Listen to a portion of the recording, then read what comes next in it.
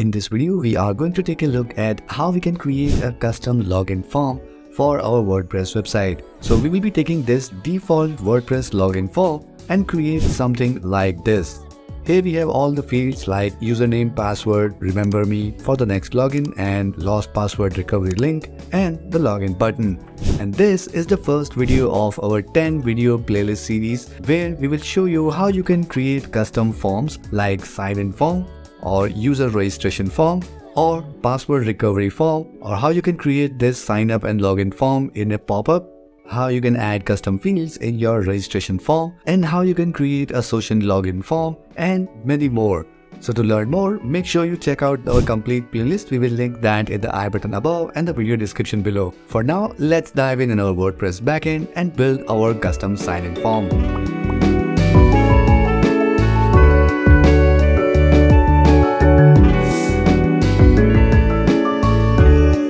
First step is to make sure that we have the latest version of the Plus add-ons for Gutenberg free as well as the Pro version. And after that, we need to go to Plus settings and then click on Plus blocks. And here we need to search for login. And this is the login registration block that we are going to use. And here we can see it's part of the Pro plan. So make sure you have the Pro version installed and activated. And after that, just turn on this block and then click on save. Alright, so now let's go to create a page and start building our custom sign-in form. So we go to pages and here we already have a page. Let's edit this. Alright, so let's start by adding our container first. And in this, we are going to search for our login block. So this is login and sign up block that we are going to use. So here we have our default login form and we can go ahead and do some styling using the style tab of this block, which is similar to all the other Gutenberg blocks that we have in Plus add-ons.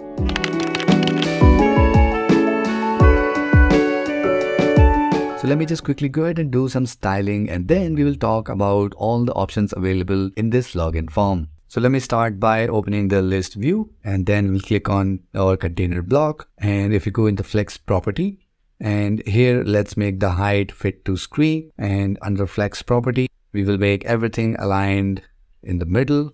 And for the column alignment we will choose space between. And let's go to style. And here we are going to add some gradient in the background. Something like this. And now we go to advanced add some padding. So we will turn this to percentage and let's unlink this. And for the right we will add 35 from the left again we will make it 35 and let's come back here in our flex property and then do the row alignment as center. Now let's click on our login form. And here for the style we will choose a background color. So here we have the box content option. So here we are going to add a background color like this one and in order to add some space around these elements, we will go in the padding section and then add around 20 pixels here.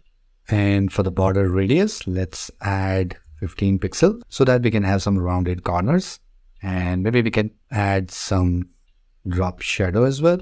So we come back here in our style tab and for typography, we are going to choose Poppins and we will select font size as 30 and color we will choose white. And let's make the font style as uppercase. So we will choose uppercase from here. And maybe we can add some line height as well to give it some gap.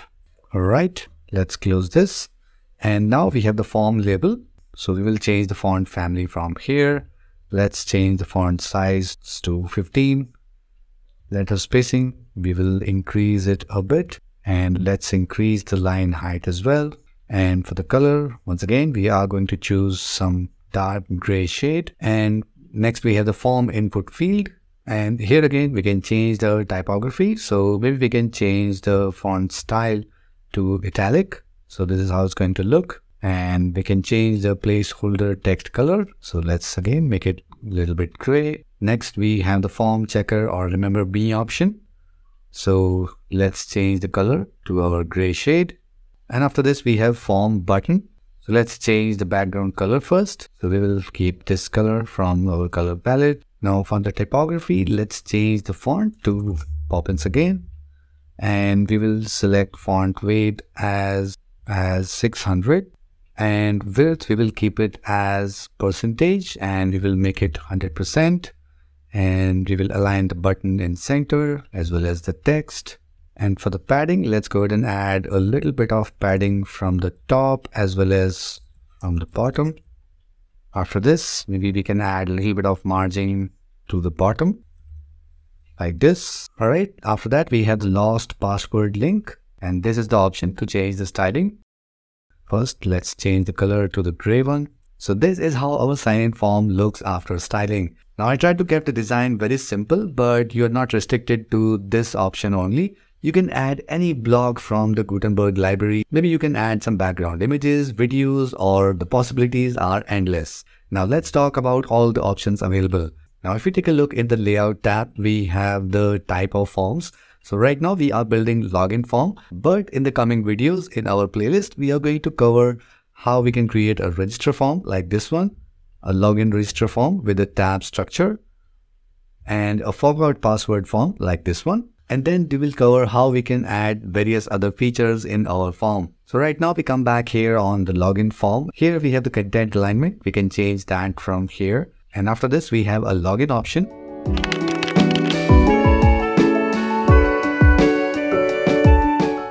So here we can control all the fields for this login form like username, so here instead of username, we can add any other field like social login, magic link and extra text that we are going to cover in the later videos in this playlist. And after all these fields, you can also add your own custom field. So all you have to do is just click on add field and here we can add maybe a social login or maybe an extra text. So we can control that from here. But again, we will cover all that in the later videos.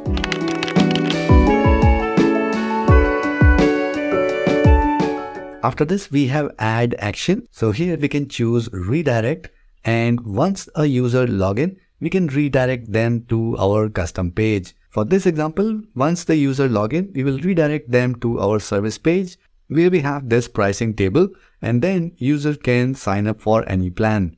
So here, let's copy the URL of this page and then enter it here. And below this, we have login form messages. So these are the typical messages that will appear once we do the login process. So here we have the loading text, success and validation and error text. So if you want to customize the text, you can do that from here. And after this, we have my account menu. So once you are logged in and visit the same page again, you of course not going to see the login form. It's going to show you the my account icon. So let me update this here and open this in a new tab in this window itself. So here, as we are already logged in, we cannot see the login form, but it's showing us our avatar image and our username. And that all we can control from here. In my account menu, we have an option for my account menu itself. So we can turn this off so nothing will be visible. Below this, we have enable in backend. So if we turn it on, we can see a small preview here itself. After this, we have use avatar. So we can hide or show it from here we can show our username and select the format. So right now we can select our first name, last name like this one. And once we have selected that, what should happen after we mouse over on this menu? So right now, if we do the mouse over, these are the three options we can see here. And that again, we can control from here. So first option is edit profile. This is showing up here. So we can enable or disable this from here or even edit this title. Along with that, we can also add an icon here. So maybe we can choose an icon like this one. And we also have option for logout and let's give it an icon like this one. After this, we can also add extra menu items. For now, we have a menu one sample link. And for this one, we can change the text and add some icon like this one and give any custom URL here. So this is how this menu is going to look. And once again, we can customize the look from our styling tab. So if we scroll down here, we have the My Account menu section. And here we can add a little bit of background color. And once again, we can customize all the typography and other details. And below this, we have sub menu option. So here we can customize how this submenu will look. So maybe we can add some gap in between these links. So this is how it's going to look. And maybe we can add some padding like this one. So this is how it's going to look. And we can play around with various other styles as well. So let's update this here again. And after my account menu, we have lost password. So this is the lost password link here. We can customize all the options using this. And that again, we are going to cover in the later videos in our playlist. So stay tuned for that. And then we have the form heading. So right now it says sign in. We can customize the text from here and then change the alignment as per our design requirement. Once again, all the styling can be controlled from this style tab. So right now, let's go ahead and update this page and let's open this in a private window and see how it works and if it redirects us to our custom service page. So here we are in a private window. Let's enter the username and password. Let's click on login. All right, login successful and we jump directly onto our service page on our pricing table. So this is how you can redirect your visitors after login to any landing page on your site. So this is how we can create a custom login form in our WordPress website. In the next video of this playlist, we will cover how we can create a custom registration form for our WordPress site. Make sure you go ahead and watch the complete playlist to learn more about how we can create some amazing looking forms using the login and the registration block from the Plus add-ons. And if you like this video, make sure you give it a like and subscribe to this channel for more videos like this. That's it for this one and I'll see you in the next video.